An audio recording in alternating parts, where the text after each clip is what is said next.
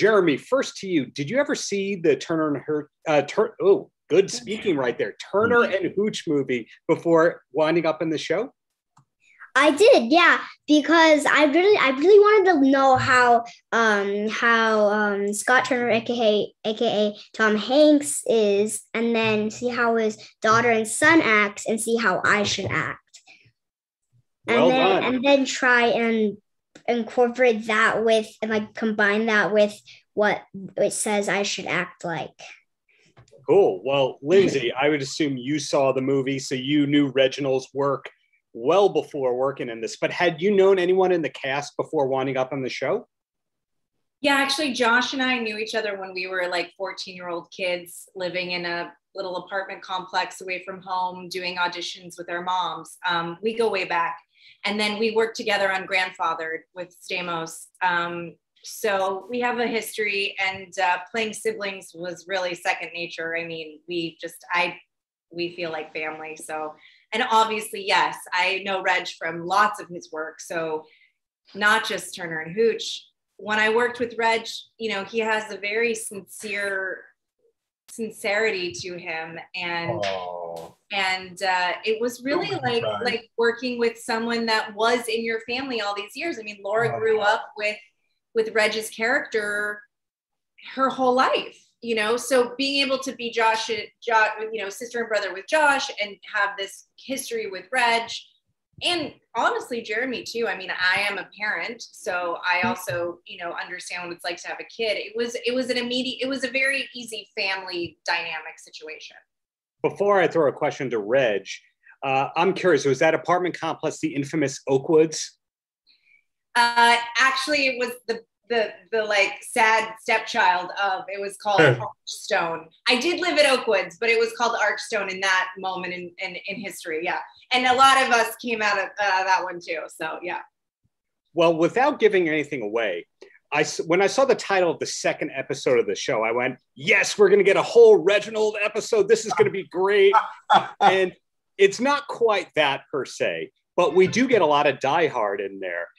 Oh. Was was the script that we see reflective of totally what's on camera, or did things change? Any idea, Reg? Well, I think things changed. I, um, you know, as a, unfortunately, I didn't see the first episode or second episode, but I understand that they cared enough about my character and me to to to do the best they could with with the job, and I, I think I they I did okay, you know, and I I really enjoyed working with the other actors and what, and they're the ones that bring the show together, you know, uh, and I I'm just there.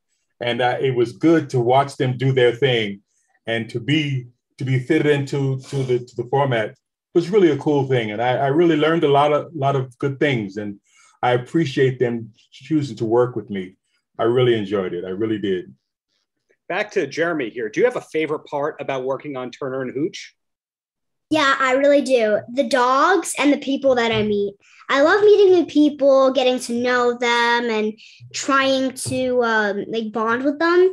And I love bonding with dogs because they're excellent companions, and they always listen to you, and you have somebody to talk to.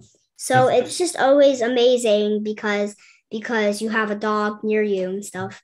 And most of my scenes wi- are with Lyndsy, and that makes it really easy because she's so nice to me and she was very welcoming to me when I first stepped on set. That's so wonderful to hear that everyone is getting along and everybody respects each other because that's not always the case in all this. Uh, Mhm. One thing I couldn't figure out when exactly was the show filmed? Did I read correctly that you wrapped in April? Uh, I don't, I don't remember. April? when- no, I don't. Was it April?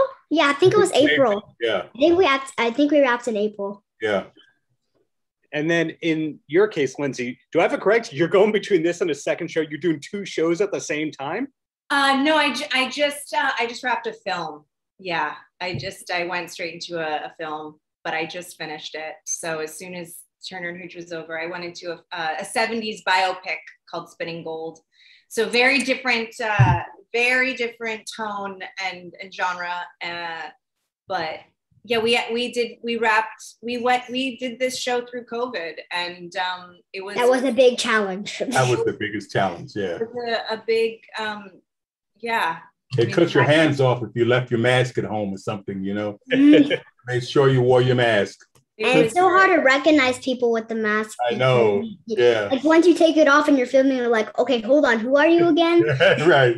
It was an experience. It's experience. so hard doing it with the makeup people and the hair people. You're like, oh, that's what you look like. Yeah. And then my last question here, because I want to be mindful of everyone's time. Reg, I got to clear up a rumor. Are you from Long Island or have you lived on Long Island? Because a lot of people here on Long Island want to take credit for you. wow. Well, I was born and raised in Queens, New York, which is part of Long Island. So yes, I am Okay, a so Island. Wikipedia is wrong. Wikipedia. I was born and raised in Queens, New York, Jamaica, Queens, you know, which uh, I remember very well, you know, but I'm glad I'm out of it. So, you know. Well, congratulations to you all on a show that's funny and heartwarming and looking forward to seeing what's next from all of you. Thank you Thank for your time. you. Thank you. Thank you. Bye, Darren. Outrocast.